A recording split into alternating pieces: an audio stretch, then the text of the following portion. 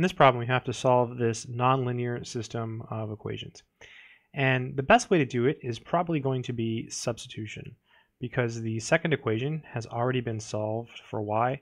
So we can just take this and plug it into the first equation. So this is x plus, and then replace y with x squared minus 6x plus 9, and that's equal to 3.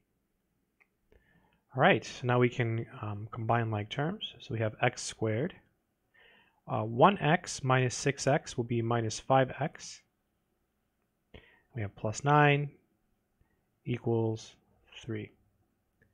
Let's go ahead and subtract the 3 so we can try to factor this. So we have x squared minus 5x plus 6, and that's equal to 0. So this should factor. Let's go ahead and try. It's going to probably look like this. Parentheses x, parentheses x, equal to 0. So we need two numbers that multiply to 6 and add to negative 5. I think uh, 2 and 3 should do it. 2 times 3 is 6, and if we make them both negative, they'll both add to negative 5. Negative 3 plus negative 2 is negative 5. So you set each piece equal to 0, and you end up getting two possible x values. So now what we do is we take these x values and we plug them in to uh, our equation. So I'm going to write them again up here. x equals 3, x equals 2.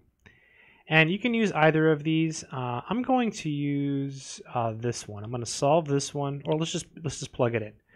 So when x is 3, you have to do each one individually because the final answer is an ordered pair. So it's really key that uh, you do one at a time.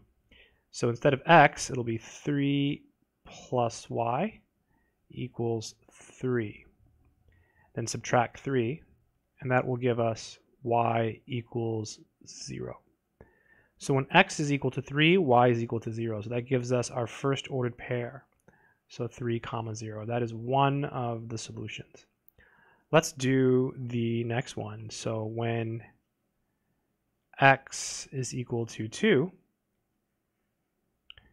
we plug in 2, so we get 2 plus y equals 3. So subtracting 2, subtracting 2, we get y equals 1. So when x is 2, y is 1. That gives us the next ordered pair, so 2 comma 1. So both of these would be solutions to the system of equations.